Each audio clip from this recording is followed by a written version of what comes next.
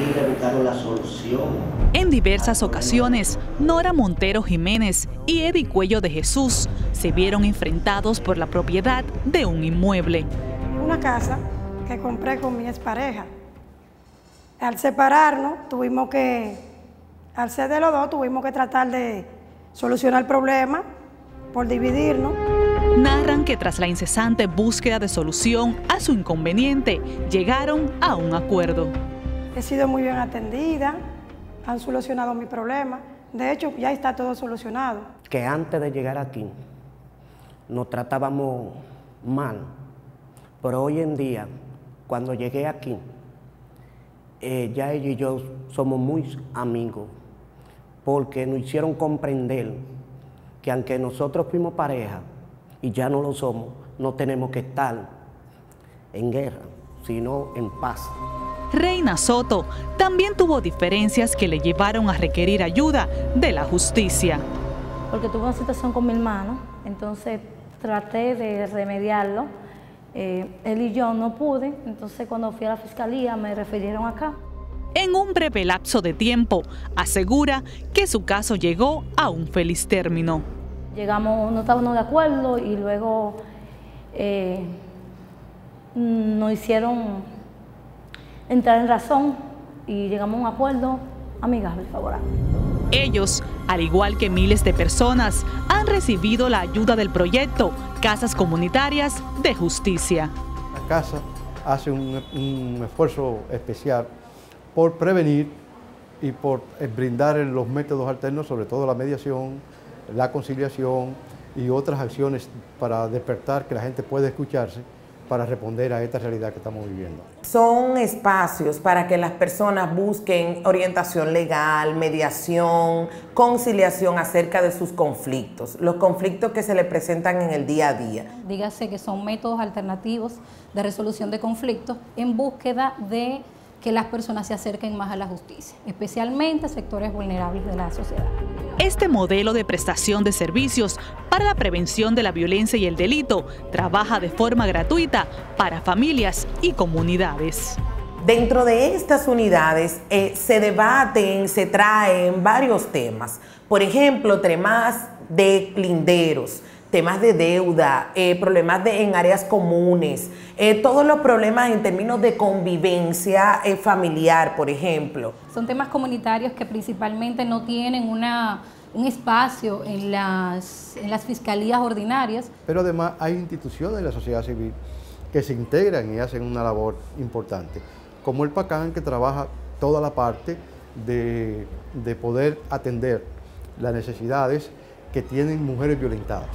Las casas de justicia, fundamentadas en el respeto de los derechos humanos, viabilizan el diálogo, creando un clima de entendimiento y empatía entre las partes enfrentadas. El papel de nosotros es facilitador de la comunicación entre las partes, pero nuestra función, más que ello, con todas las bondades que tiene este sistema de resolución alternativa, pues eh, cumplimos con un rol tutelador de los derechos fundamentales de las personas. Para tener prevención hay que contar con un cambio de actitud de las mismas personas que se ven involucradas en los conflictos. Y ese cambio es, es importante y es urgente porque la actitud de violencia y de agresividad en el ciudadano común crece constantemente. Las personas, que el ciudadano eh, común de las comunidades entienda que hablando se pueden entender. Eso es sumamente importante.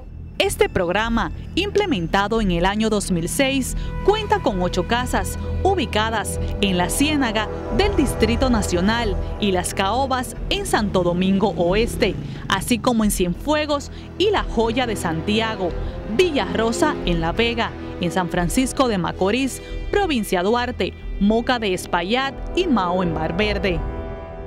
La Agencia de los Estados Unidos para el Desarrollo Internacional, USAID, a través del proyecto para el fortalecimiento de la justicia, trabaja junto a Participación Ciudadana y otros organismos del país.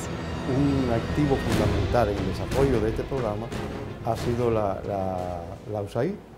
Como, como agencia internacional ha puesto un empeño importante, lleva acompañándonos 10 años Y gracias a esa colaboración, gracias a ese reconocimiento que nos da esta institución, hemos podido mantenernos durante estos 10 años eh, trabajando con un financiamiento que permite impulsar el programa, pero que necesita que las partes nacionales se interesen. Tenemos al Ministerio Público que designa a los fiscales en la unidad de fiscalía, en la unidad de conciliación, como mejor se conoce, la Suprema Corte de Justicia, eh, el Poder Judicial en general, pero la Suprema Corte de Justicia eh, designa a los mediadores que vienen desde el Centro de Mediación Familiar.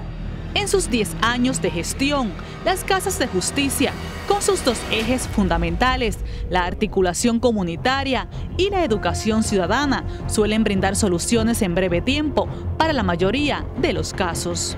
De los casos que hemos atendido, el 61% ha sido resuelto con la misma gente. Y estamos hablando que en 10 años estamos sobre eh, los 370 mil eh, personas atendidas. Ese impacto que hemos tenido es viene del testimonio de la misma de la misma gente que te dice yo tenía tal o cual problema y yo no sabía cómo solucionarlo. Yo no tenía quizás la información eh, que eso para nosotros pesa mucho en términos de acceso a justicia. Ella lleva un aprendizaje para poder mediar sus propios conflictos más adelante poderlos poder tener métodos para solucionarlos sus testimonios evidencian el cambio y el impacto positivo generado por el trabajo de las casas de justicia. Y me siento muy agradecida con el trato que me han dado.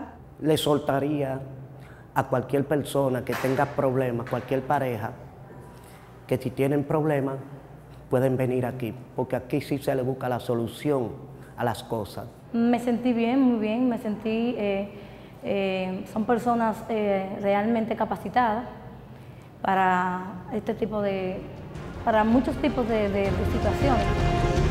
Esta labor tan necesaria es realizada de lunes a viernes y cobra importancia al escuchar los testimonios de familias y vecinos que han encontrado soluciones a sus conflictos sin salir de la comunidad donde residen y sin entrar en mayores gastos.